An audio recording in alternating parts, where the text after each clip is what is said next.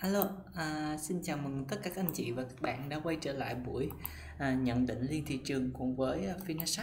Thì hôm nay thì mình sẽ cùng với anh chị và các bạn à, cập nhật những diễn biến của thị trường trong những ngày vừa qua cũng như là mình sẽ cùng nhau để à, chuẩn bị những cái kế hoạch hành động và giao dịch trong à, những ngày còn lại của tuần thì à, chủ đề của chúng ta ngày hôm nay sẽ xoay quanh qua ba nội dung. Đầu tiên thì chúng ta sẽ xem về những cái phản ứng của thị trường như thế nào trước những thông tin về à, cái biến chủng mới của covid. À, thứ hai thì chúng ta sẽ cùng nhau về cái xem về cái triển vọng giao dầu. Liệu là à, cái với cái tình hình à, dịch bệnh quay trở lại hiện tại và và cái nhu cầu à, nhu cầu đang sụt giảm thì OPEC sẽ có những cái cái hành động như thế nào? Để mà cứu vãn cái giá dầu ở thời điểm hiện tại.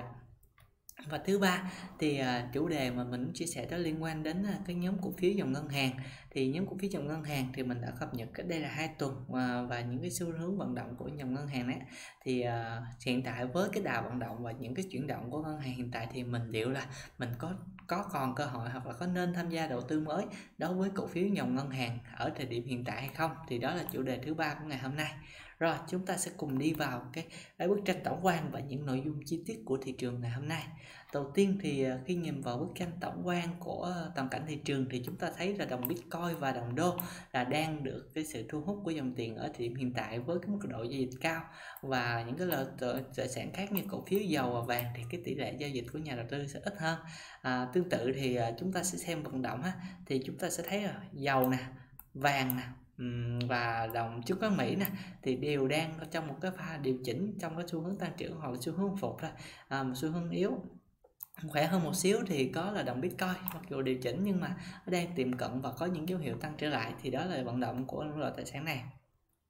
Những loại tài sản này thì cũng ờ, rất khó để mà tham gia đầu tư với những cái vận động ở thị hiện tại ha. Đó, người ngược lại thì chứng khoán Việt Nam chỉ số chứng khoán VN Index VN30 và chỉ số phái sinh đều đang vận động theo một cái chiều hướng là tích cực và đang quay trở lại từ xu hướng tăng trưởng và đang tiến cận vào cái xu hướng là là dẫn dắt của thị trường. À, còn nhóm cổ phiếu là thuộc về à, đô chỉ số dollar index thì ừ, sức mạnh đồng đô thì vẫn đang là ở pha dẫn dắt của thị trường và những cái nhịp điều chỉnh nhẹ. Thì đó là những cái sự vận động của thị trường ở thị hiện tại và những à, bức tranh toàn cảnh ở thị hiện tại ha. Chúng ta sẽ cùng đi vào nội dung chi tiết thì đầu tiên thì chúng ta sẽ xem thế giới đã phản ứng như thế nào trước những cái thông tin uh, covid biến chủng mới ở thời hiện tại. Thì đầu tiên nó mình sẽ cập nhật những cái vấn đề liên quan mới nhất đến biến chủng mới ở điểm hiện tại ha. À, đầu tiên thì đã ghi nhận là hiện tại ha đã ghi nhận là ít nhất là 44 trường hợp là xác nhận là nhiễm cái biến thể mới là o, Omicron này. À, với cái ở là 10 xuất hiện ở 11 quốc gia và hầu hết là các biến các các ờ, bệnh nhân. À, khi nhiễm cái biến thể mới này thì hiện tại đều đang là bệnh à, bệnh nhẹ có dấu hiệu bệnh nhẹ hoặc là không có triệu chứng. Thì đây là một cái phần là cấp cho giúp cho những người người dân à, và những người mà mà à, người mà hầu hết là dân người dân ở toàn cầu á, đều gọi là cảm thấy yên tâm một phần nào à, về cái những cái tác hại của những cái biến chủng mới này. Đó cho nên là thông tin này là một thông tin tốt cho cho tình hình toàn cầu á, thị trường và những cái cái lo ngại giảm cái lo ngại của của người dân trong hiện tại ha rồi thứ hai thì liên quan đến những cái ờ, thông tin mà trước đây là liên quan đến cái vaccine ờ, của của hãng ờ, Moderna thì cũng đã cho biết là cái cái vaccine này có thể là bị giảm hiệu quả trước cái biến chủng mới này đó, và có thể lo ngại là những cái biến chủng mới này sẽ tiếp tục là tiếp diễn và ảnh hưởng đến đến sức khỏe của của của người dân trên thế giới. Thì đó là những cái phát biểu của vaccine à, Moderna cũng ảnh hưởng rất là lớn đến tâm lý nhà đầu tư. À, song song với đó thì ở à, Nga viện y tế à, vi khuẩn và dịch tễ của của Nga thì cũng đã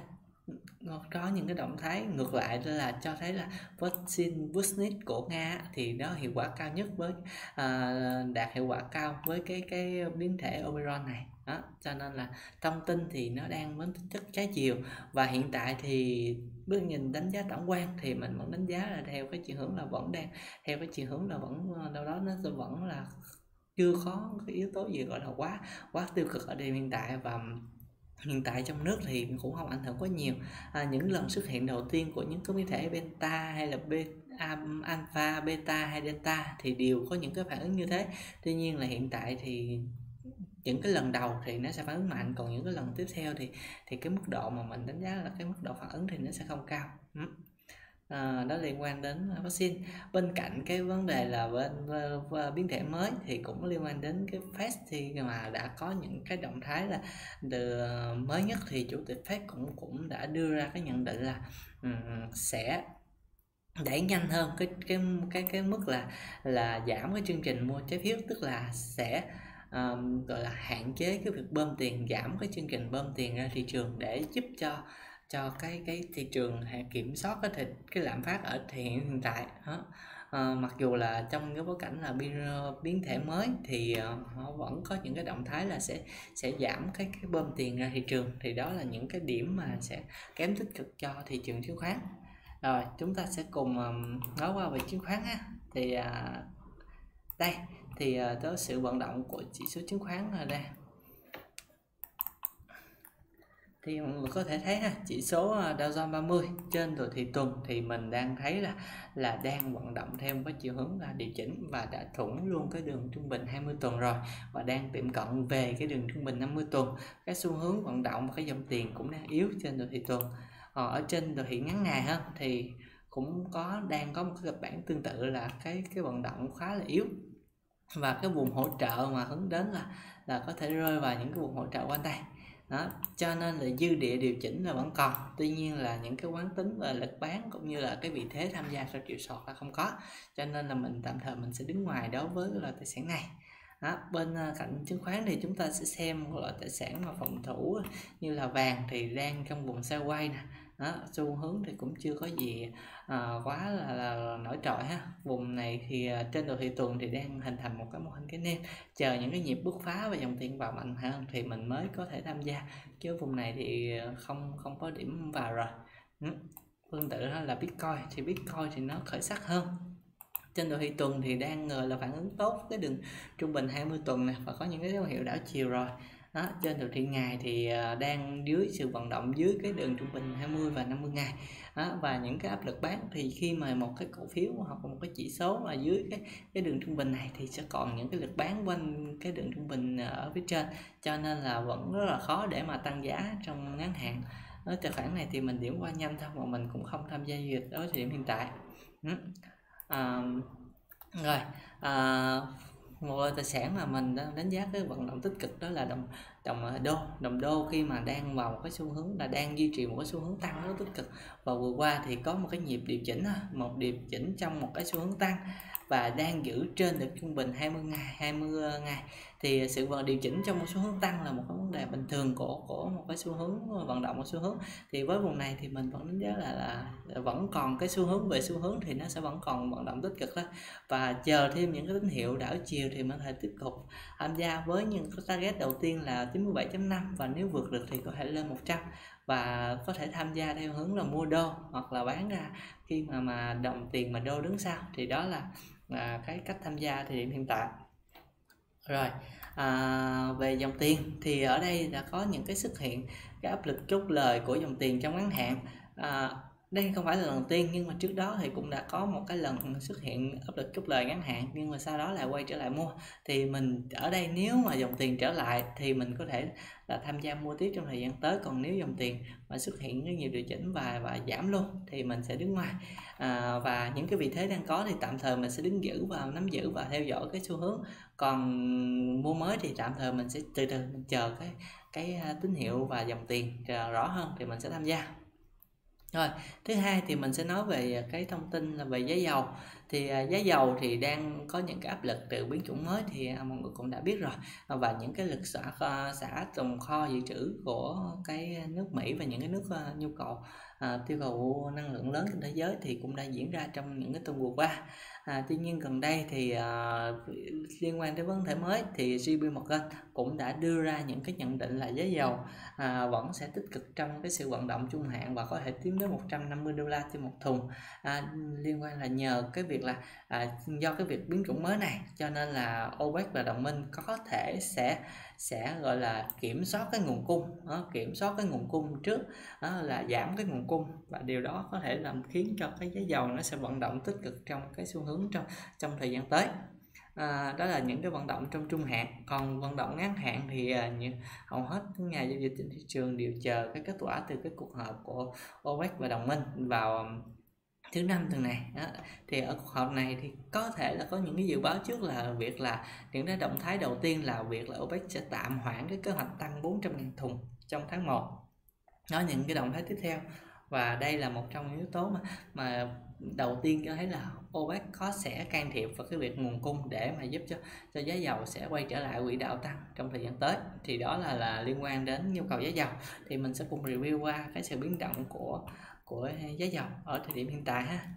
À, giá dầu thì à, đầu tiên thì chúng ta xét kênh đồ thị tuần thì giá dầu đang chạm cái vùng hỗ trợ trên cái đường trung bình 50 tuần này ha, và có những cái lực hồi phục. Tuy nhiên lực này là lực không mạnh ha. Đầu tiên mình đánh giá lực này không mạnh và còn áp lực trên đường trung bình 20 phiên trước đó à, 20 tuần trước đó đó cho nên là vùng này có thể hồi phục nhưng lực hiện tại lực vẫn chưa đủ mạnh để mà mà mà tham gia giải ngân mới còn trên đồ thị ngày thì đang về cái vùng hỗ trợ là quanh mức là 67 uh, 67 đến 66 đến 67 đô la một thùng và có lực hồi phục. Nhưng uh, cái này dòng tiền cũng yếu nè cái quán tính thì lượng bán vẫn đang chiếm ưu thế hơn thì có dòng tiền tham gia. Nhưng nhưng uh, dòng tiền này là, là không có mạnh lắm. Cho nên là với dầu thì uh, hiện tại ha, có dòng tiền tham gia nhưng mà xu hướng thì thì yếu cho nên là về dài hạn thì mình đánh giá là dầu vẫn trận động theo tích cực còn ngắn hạn thì hiện tại thì mình vẫn không tham gia được với với giao dịch với với dầu ở thời điểm hiện tại ha. Rồi à, đó là liên quan đến hai loại tài sản. Chúng ta sẽ trở về cái chứng khoán Việt Nam. Thì uh, chứng khoán Việt Nam thì uh, đầu tiên thì mình sẽ cùng review qua những cái thông tin mà mà ảnh hưởng đến thị trường trong tuần vừa qua thì đầu tiên là thông tin liên quan đến cái chỉ số BMI à, BMI thì à, trong tháng 11 là đạt mức là 52.2 điểm có tăng là 0,1 điểm so với tháng 10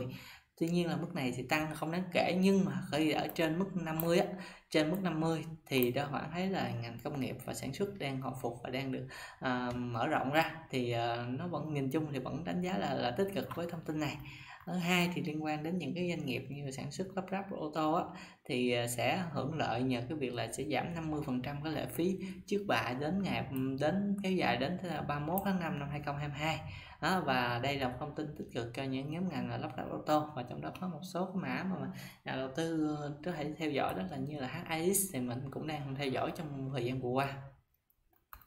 à, cuối cùng thì liên quan đến cái thông tin là về nhóm ngân hàng khi mà mà tín dụng trong tháng 10 tháng 11 đã tăng trở lại sau cái thời gian mà chững ở ờ, cách giãn do cách giãn thì à, khoảng 200.000 tỷ đồng đã được bơm ra kinh tế trong vòng à, 2 tháng thông qua các kênh tín dụng. Và cái việc mà dòng tiền à, bơm vào thì lý do là do mặt các bạn hiện tại lãi suất cũng đang ở mức thấp. Những cái chương trình ưu đãi về lãi suất cũng như là những cái động thái nới room của ngân hàng nhà nước thì là những yếu tố mà tác động tích cực đến dòng ngân hàng. Và trong, và và đây là những cái thông tin mà mình chú ý. Thì trong nhóm ngân hàng thì ngoài cái yếu tố nếu rung tín dụng và những thông tin thì mình cần nhận tập trung những cái cổ phiếu mà đang gọi là dòng tiền mạnh và dẫn dắt thị trường. Đó là ba cổ phiếu mà mình chú ý nhiều hơn. Nhất đó là VHD Bank, Tiền Phong Bank và OCB là những cái mã mà có xu hướng hoạt động dòng tiền khỏe. Rồi để ờ, cùng ờ, rõ hơn thì chúng ta sẽ cùng nhau review ờ, về kỹ thuật đối với thị trường cũng như là sự vận động của những cổ phiếu ngân hàng. Là có nên đầu tư hay không?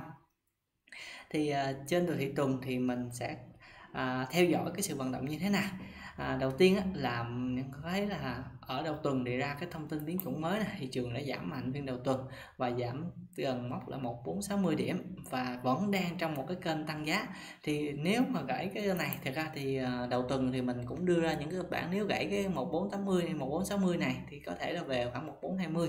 tuy nhiên là cái kịch bản 1420 nó không xảy ra và thị trường vẫn duy trì trong một cái kênh tăng kéo dài từ khoảng cuối tháng 10 ừ, đầu tháng 10 đến nay. Thì à, trong cái kênh tăng giá này thì cái sự vận động của thị trường thì vẫn đang duy trì một đà tích cực cho nên là nhà đầu tư hoàn toàn có thể thiết lập vị thế và giao dịch một cách tự tin ở thời điểm hiện tại. À, những cái chỉ số về về đây là liên quan đến đến cái chỉ số về quán tính thì cũng đang giao dịch mức cao. Dòng tiền có một cái lực giảm cho những cái điều chỉnh này nhưng mà hiện tại thì dòng tiền vẫn đang ở mức này là mức cao cho nên vẫn theo dõi được. Đó, thì liên quan thị trường. Thì về dự báo xu hướng thị trường thì mình vẫn dự báo là cái xu hướng vẫn duy trì trên vùng này và sẽ tiếp tục tăng trong thời gian tới. Đó, và những cái mốc cao hơn cụ thể là có thể là liên quan lên tới khoảng 1550 trong trong thời gian tới theo một cái kênh tăng giá này. Thì đó là dự báo về xu hướng nền thị trường. Còn về nhận định về cái dòng đầu tư thì ở đây mình cũng chia sẻ cái quan điểm của mình là mình đang đánh giá rất cao những nhóm ngành về ngân hàng. Đó và sự vận động của nhóm ngân hàng thì à, đây là những cổ phiếu những thông tin hưởng lợi thì mình đã cập nhật rồi. Thì những cổ phiếu mà vượt đỉnh nè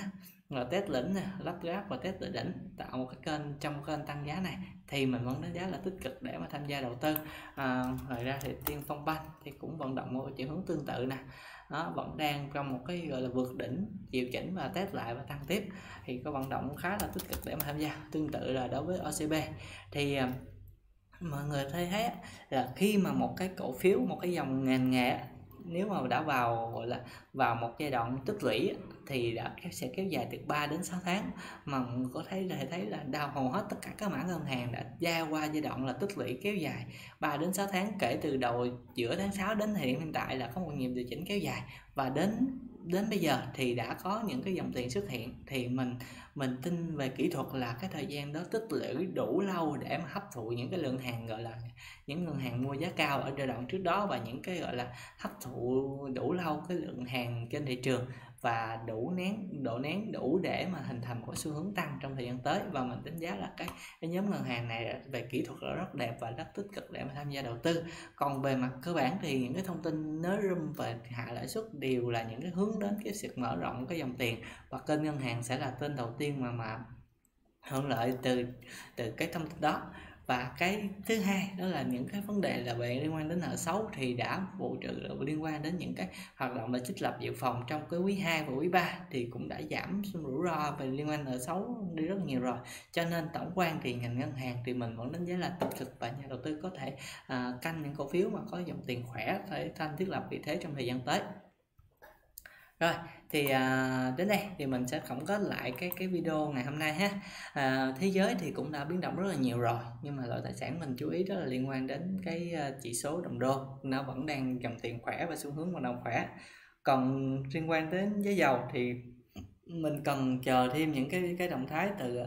từ uh, cuộc họp của OPEC và những cái quyết định tiếp theo. Tuy nhiên là mình vẫn đánh giá là vùng này là đang vùng sao quay thì mình theo dõi là cũng chưa có giao dịch được. Còn chứng khoán Việt Nam thì vẫn đang vận động tích cực. À, nhóm chú ý là nhóm cổ phiếu là ngân hàng thì mọi người có thể chú ý và cân nhắc tham gia đầu tư trong thời gian tới